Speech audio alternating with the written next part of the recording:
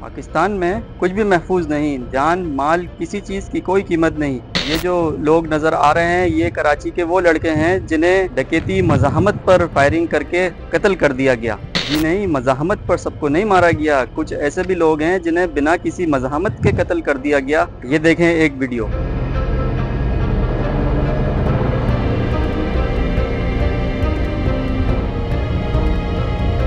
देखा आपने ये किस तरीके से घर के बाहर बैठे नौजवान को कत्ल कर दिया गया? पुलिस सिर्फ़ तमाशा देखती है और सिर्फ़ पुलिस दूसरे कामों में लगी रहती है। वो क्या काम है और ये वीडियो भी देखें।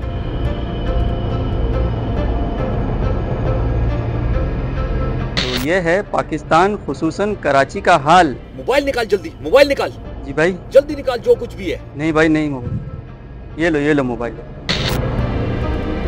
शुक्र ये मैंने मजामत नहीं की, मोबाइल मेरा ले गए तो मैं बच गया। लेकिन ज़रूरी नहीं कि आप मजामत ना करें तो मोबाइल और आपका माल बच जाए।